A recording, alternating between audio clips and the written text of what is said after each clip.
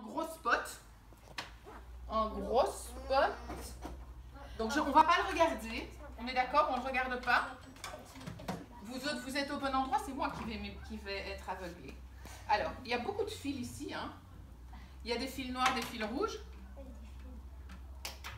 Okidoki, on y est presque. Voilà. Alors, ça c'est quoi? Un panneau solaire. Un panneau solaire. Où est-ce que vous les avez vus? Sur la maison.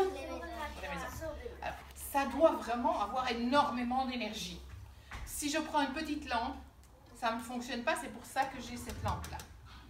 Alors, maintenant, qu'est-ce qui se passe avec mon... L'énergie, elle vient d'où? De la prise. C'est de l'énergie quoi?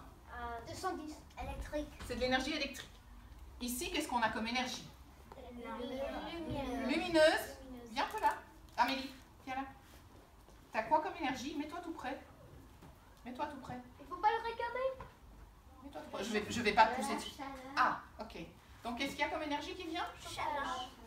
Chaleur et Lumineuse. lumière. Chaleur, c'est chauffage. Chaleur et lumière. Madame Verber Oui. Euh, Est-ce qu'on va utiliser le panneau solaire pour brancher sur, euh, par exemple, la petite hélice et ça Ah, va voilà, on va y arriver, ok?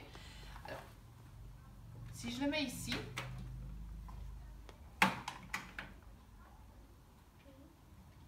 va le mettre tout près, pour que ça fonctionne le mieux possible.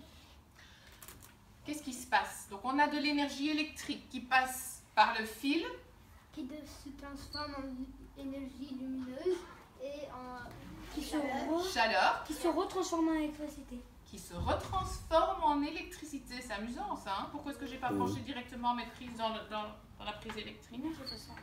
Alors, j'ai un petit ventilateur, une petite hélice, je sais pas une- on va dire que c'est une éolienne. Excepté que l'éolienne, elle ne frotte. En général, c'est pas avec ça. Alors, on y va, hop, on va voir. Mais évidemment, si je le mets comme ça, ça va être un petit peu. Ah, ah, il y avait quelque chose. Elle a bougé. Alors, est-ce que c'est assez fort?